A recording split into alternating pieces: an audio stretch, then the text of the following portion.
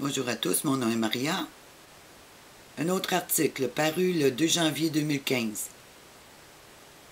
ONU, en 2015, le Saint-Siège appelle à construire la confiance. Stop au conflit d'intérêts par Monseigneur Thomasy. Rome, 2 janvier 2015. Anne Curian. Pour l'année 2015, le Saint-Siège propose à la communauté internationale de construire la confiance pour sortir des conflits. Il appelle à donner la priorité aux personnes humaines en mettant le commerce des armes et des conflits d'intérêts au second plan. Mais, je vous rappelle que la communauté internationale, ben, c'est le Vatican qui la contrôle. Mais, pour faire passer comme euh, l'homme de paix, ben, il va dire, il va proposer à la communauté internationale, alors que c'est lui qui la contrôle pleinement, avec les jésuites.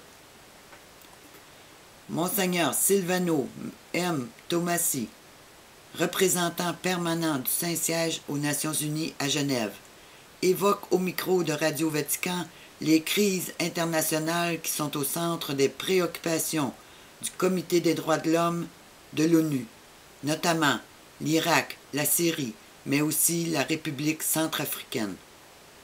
Ça, ce sont tous des gars qui sont fomentés justement par les jésuites.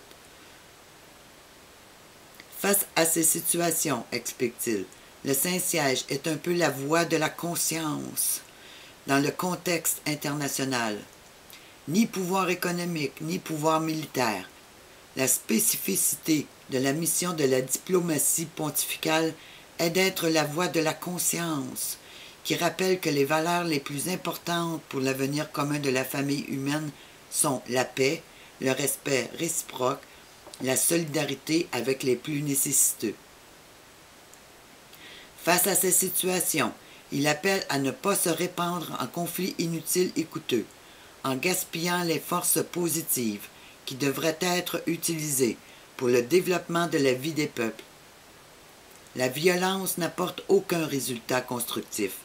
Il faut aller au-delà de la mentalité, selon laquelle l'unique solution pour résoudre les problèmes est le conflit violent.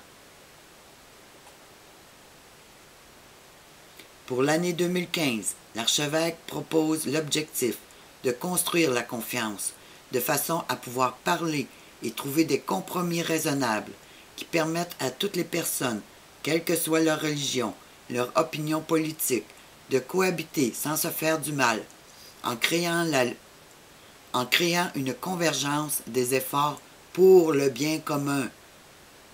Hein? Pour le bien commun, bâtir des ponts. Hein?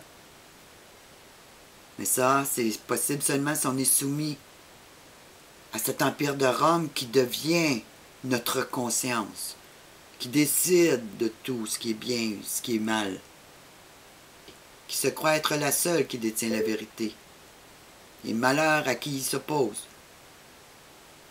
Cela est possible en mettant le commerce des armes et les intérêts des divers pouvoirs au second plan, et les intérêts des personnes et leurs justes aspirations au premier plan. Voyez, il dit qu'on devrait mettre le commerce des armes au second plan. Mais c'est drôle, ça fait des années que je mets des documents, moi, sur euh, le Vatican qui appelle au désarmement pour amener la paix dans le monde. Puis là, depuis le 24 décembre, il y a une action globale des Nations Unies pour un désarmement global. Puis là, ben, il ben, faudrait mettre ça au second plan.